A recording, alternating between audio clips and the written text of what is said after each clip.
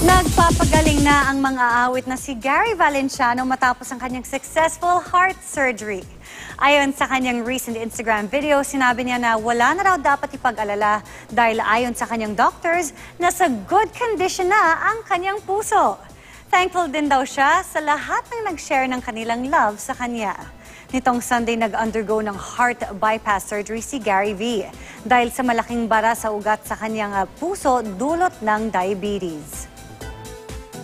Hi, everyone. I'm A-OK. I'm here in the hospital pa rin. I'm recuperating. I did have a major um, bypass, but I'm getting better day by day. But I'm here.